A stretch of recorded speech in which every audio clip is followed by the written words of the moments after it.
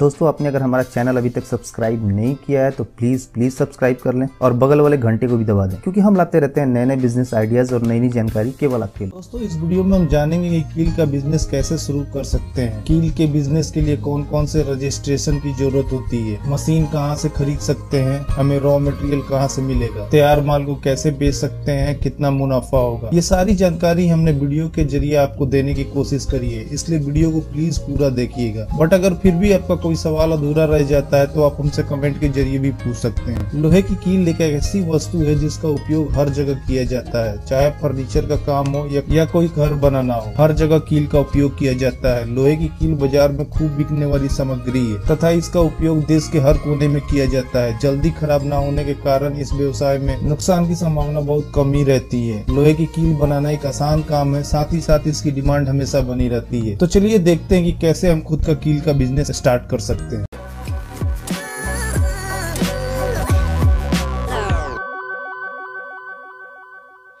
दोस्तों, सबसे पहले हम बात करते हैं मशीन और रॉ मटेरियल की। कील बनाने की फुल्ली ऑटोमेटिक मशीन की कीमत चार से पाँच लाख के आसपास आती है, जिसमें आपको wire nail making machine nail polish machine और ग्राइंडर मशीन का पूरा सेट आता है। और जहाँ तक बात रॉ मटेरियल की है, आपको रॉ मटेरियल तीस से बत्तीस रूपए किलो के भाव से बाज़ार में उपलब्ध है। भारत में दो जगह लोहे का वायर बना जाता है, पहला है रायपुर, छत्तीसगढ़ और दूसरा दुर्गापुर, वेस्ट बंगाल में वायर बनाया जाता है। इसके अलावा देश के कोने कोने में इसके होलसेलर है, लेकिन आप रेट्स की बात करें तो दुर्गापुर रायपुर में सबसे सस्ता रॉ मटेरियल मिलता है। मशीन मैन्युफैक्चर और रॉ मटेरियल के सप्लायर का लिंक मैंने डिस्क्रिप्शन में भी दे दिया है। कील का कारखाना खोलने से पहले आपको चाहिए कि आप इसकी ज़रूरी सरकारी रजिस्ट्रेशन करवा लें। किसी भी व्यवसाय को शुरू करने से पहले आपको चाहिए कि आप सरकारी नियम के अंतर्गत रजिस्ट्रेशन अवश्य कराएँ। ये सरकार का नियम तो है ही, साथ ही साथ आपको सरकारी सुविधाओं का भी लाभ मिलता है, जैसे लघु उद्योग की सब्सिडी बैंक लोन इंश्योरेंस की सुविधा इत्यादि। अगर दोस्तों आपके पास फाइनेंस की प्रॉब्लम है तो आप प्रोजेक्ट रिपोर्ट बनवा के रोज़गार योजना के तहत लोन के लिए भी अप्लाई कर सकते हैं, जिसमें सरकार आपको आपके बिज़नेस के लिए बिना गारंटर लोन दिलवाएगी। दोस्तों लोन के लिए अप्लाई करने से पहले आप किसी सीए की मदद ज़रूर लें, जिससे आपको लोन मिलने में आसानी होगी। लोहे की कील का रजिस्ट्रेशन कराने के लिए हमें सबसे पहले उद्योग आधार में रजिस्ट्रेशन कराना होता है। ये सुविधा ऑनलाइन है और फ्री में कोई भी अपने बिज़नेस का रजिस्ट्रेशन करवा सकता है। उसके साथ ही साथ हमें गुड्स एवं सर्विस टैक्स रजिस्ट्रेशन यानी जीएसटी का भी